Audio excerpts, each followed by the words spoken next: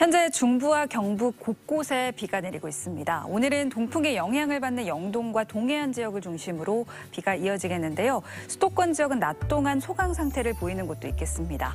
내일까지 영동 지역에 20에서 60mm의 비가 이어지겠고 경기 동부와 강원 영서, 경북 동해안 지역으로는 10에서 40mm, 그 밖에 수도권과 충청, 경북 내륙 지역으로는 5에서 10mm 정도가 예상됩니다.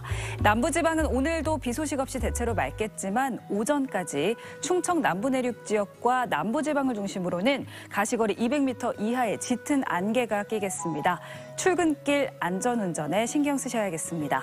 오늘 낮 최고 기온 서울 22도, 강릉 19도로 비가 내리는 지역은 선선하겠지만 전주와 광주 29도, 부산이 27도로 비가 내리지 않는 남부를 중심으로는 이례적인 늦더위가 이어지겠습니다.